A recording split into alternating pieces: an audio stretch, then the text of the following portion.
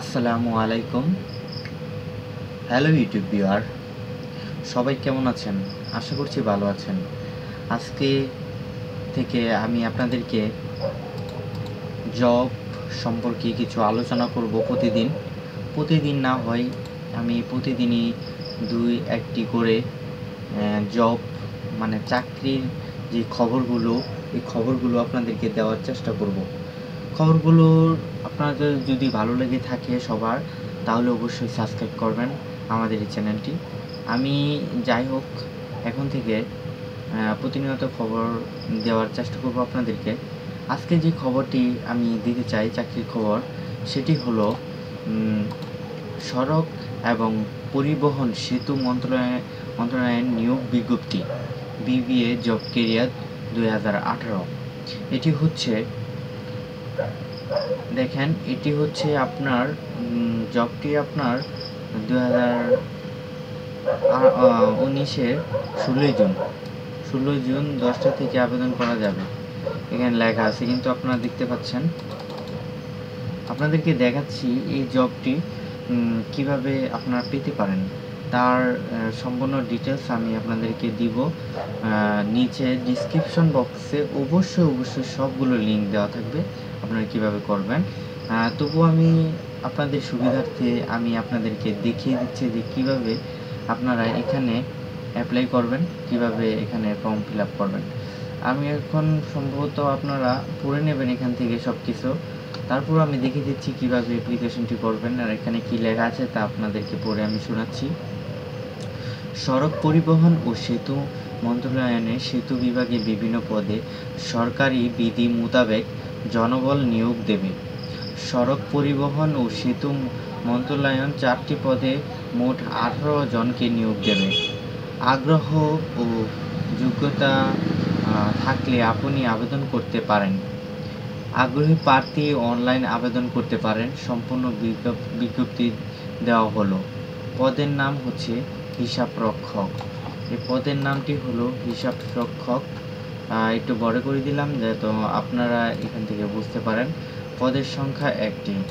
শিক্ষাগত যোগ্যতা বাণিজ্যিক বাণিজ্যিক বিভাগে ডিগ্রি এখানে বেতন স্কেল ধরা হয়েছে সব এগারো থেকে ছাব্বিশ হাজার। আমি কিন্তু আপনাদেরকে গভর্নমেন্ট জব যেগুলো আছে ওইগুলো সম্পর্কে আমি আপনাদেরকে ধারণা দেব। প্রতিদিনই আপনাদের জন্য চেষ্টা করব একটি না একটি জব আপনাদেরকে জানিয়ে দেওয়ার জন্য যেন আপনারা এখান থেকে পারেন।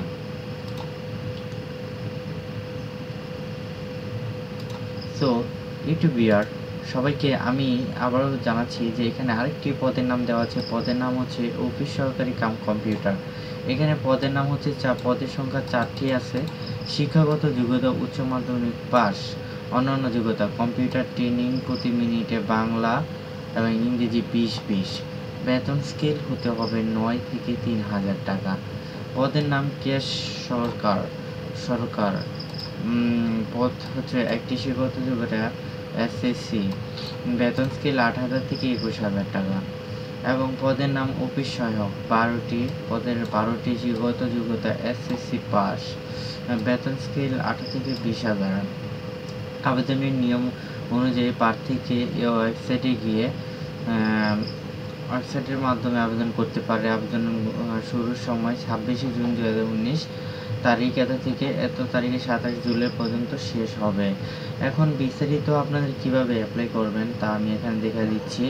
এখানে অ্যাপ্লাই করার জন্য আপনাদেরকে চারটি ধাপে অ্যাপ্লাই করতে হবে। যেমন এখানে হিসাব রক্ষক আর চেক নাম্বার অফিস সহকারী কাম কম্পিউটার উম, মুদ্রান তারপরে হচ্ছে ক্যাশ সরকার এবং অফিস সহায়ক, এই চারটি পদের জন্য আমি চারটি অ্যাপ্লাই করতে পারেন। আমি আপনাদেরকে এখান অ্যাপ্লাই করার যে ফর্মটা ওইটার মধ্যে নিয়ে যাচ্ছি। নিয়ে যাচ্ছি এখন অ্যাপ্লাই কীভাবে করবেন এটা দেখাচ্ছে। অ্যাপ্লিকেশন ফর দ্য ডিস্ট্রিক্ট শুধু এখান থেকে দেখাচ্ছে। ডিস্ট্রিক্ট এবং application for application this post administrate computer tutor আমি এখানে দেখাচ্ছি আপনাদেরকে অ্যাপ্লাই নাও এখানে কিছু বাধ্যবাধকতাও আছে তা আপনাদেরকে দেখাচ্ছি।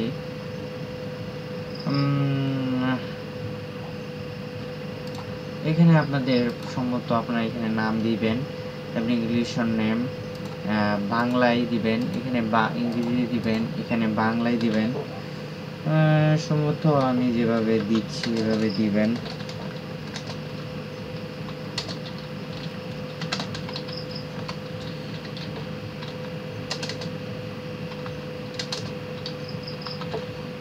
তারপরে ফাদার এখানে ইংরেজি তারপরে এখানে বাংলা।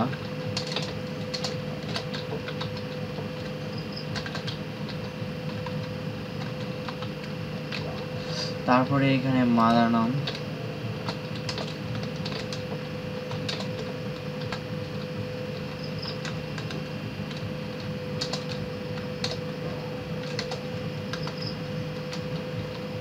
আপনারা এখানে সুন্দরভাবে দিবেন, আমি এখন আমি বানাম কোনটা ভুল করবেন না, যেটা সার্টিফিকেটে লেখা ছুটে দিবেন।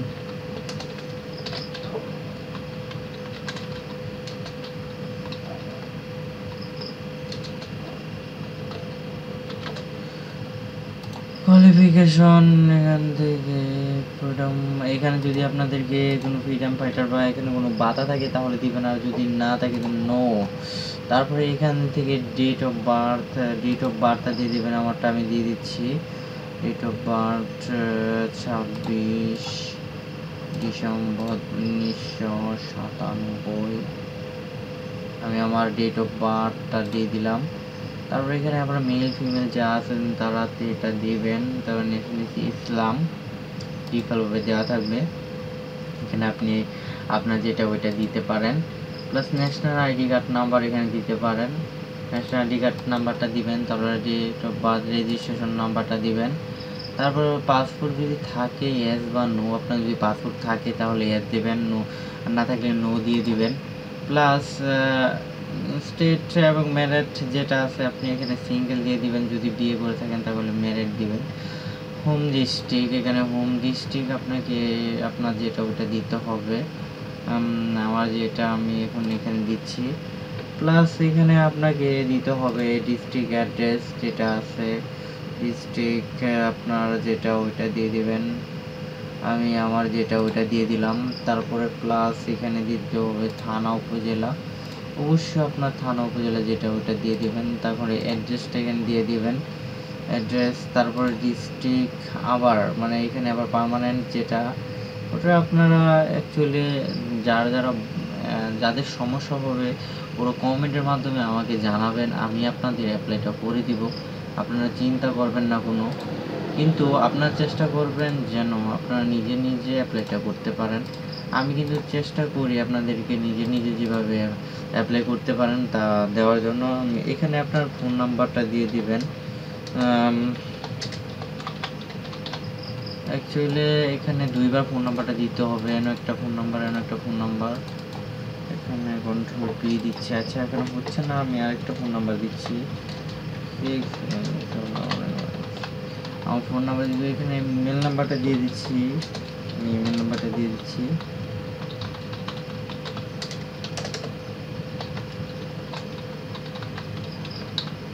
তারপরে আপনার যদি ইমেল না থাকে আমাকে অবশ্যই জানাবেন, আমি আপনাদেরকে ইমেলও করে দিব যদি আপনাদের ইমেল না থাকে। আপনাদের যেগুলো সমস্যা হবে আমাকে জানাবেন কমেন্টের মাধ্যমে, আমি আপনাদেরকে আপনাদের যদি না পারেন, আমি আপনাদেরকে চেষ্টা করব যেন আপনাদেরকে আমি অ্যাপ্লাইটা করে দিতে পারি। আর এখানে দেখবেন আপনি কোন লেভেল পাস করেছেন, দাখিল নাকি যেটা আছে এসএসসি এসএসসি ভোকেশনাল সবগুলো দেবেন, আমি এখানে দিচ্ছি এসএসসি যেটা ওটাই আমি পাস করেছি রেজাল্ট এখানে মনে হয় আমি তারপরে ডিভিশন আমি জানি না অবশ্যই থ্রি পয়েন্ট পাইলে আমার জানা হচ্ছে ফার্স্ট ডিভিশন ফার্স্ট ক্লাস চিপানি এইট ছিল ফার্স্ট ক্লাসেই ধরা যায় তারপরে এখানে আমি দিচ্ছি ডাকা আমার ভোট ডাকা তারপরে গ্রুপ দিচ্ছি। এখানে সাবজেক্টটা আমার সাবজেক্টটা এখানে তো এসএসসি হিউম্যানিটিস থাকার কথা। হিউম্যানিটিস এখানে এইগুলো আসছে কেন আমি তো বুঝতে পারছি না। এখন যাই হোক, আপনার যে সাবজেক্টটা ওইটা এখানে দিয়ে দিবেন।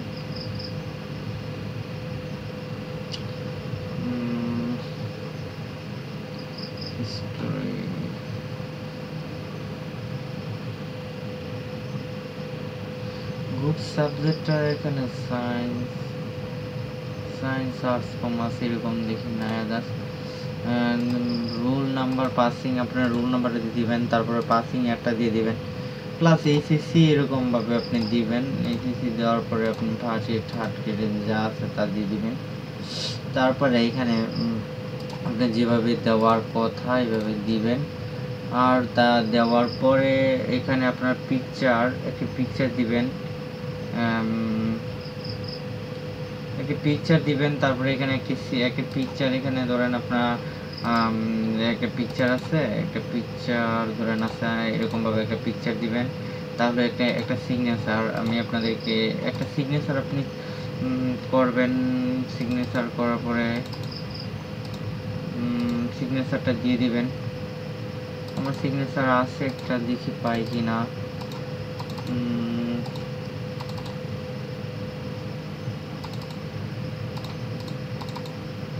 এই যে দেখেন আমার সিগনেচার সিগনেচারটা আমি আপনাদেরকে প্রিভিউ করে দেখাচ্ছি। এরকমভাবে একটা খাতার মধ্যে সিগনেচার করবেন। সিগনেচার করার পরে আপনি এখানে ছবি তুলবেন। ছবি তোলার পরে এখানে আপলোড করে দেবেন। আপলোড করে দেওয়ার পরে এখানে দেখেন কি পারছে eight T V V K D এটা লেখার পরে এখানে টিক চিহ্ন দিয়ে আপনাকে এখানে প্রিভিউ একবার দেখবেন। প্রিভিউ দেখার, আমি অনেকে সিলেক্ট করে নিই। ফাইল পঞ্চাশ কেবি হতে হবে, অবশ্যই এগুলো সম্পূর্ণ রেজুলেশন কমে নিতে হবে। এখানে রুল টুল এগুলো দিতে হবে, তারপরে এখানে সাবমিট দিতে হবে। এখানে সাবমিট দিলেই কিন্তু আপনাদের যে রেজিস্ট্রেশন এটা হয়ে যাবে। আপনারা যদি আপনারা যদি এটার ইনফরমেশন আরও জানতে চান, যদি আপনার কোনো সমস্যা হয়, তাহলে আমি আমার ফোন নাম্বার আমার ফেসবুক আইডি এগুলো আমি দিয়ে দেব ওইখানে। আপনারা ওইখানে গিয়ে আমাকে কমেন্ট করতে পারেন, আমার সাথে সরাসরি যোগাযোগ করতে পারেন।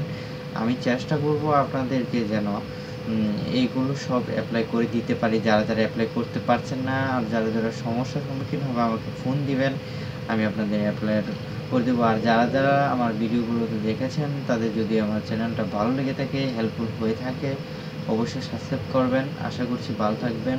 আর সম্পূর্ণভাবে আমি আপনাদেরকে ডিসক্রিপশন বক্সে এইগুলোর লিঙ্ক দিয়ে দিব।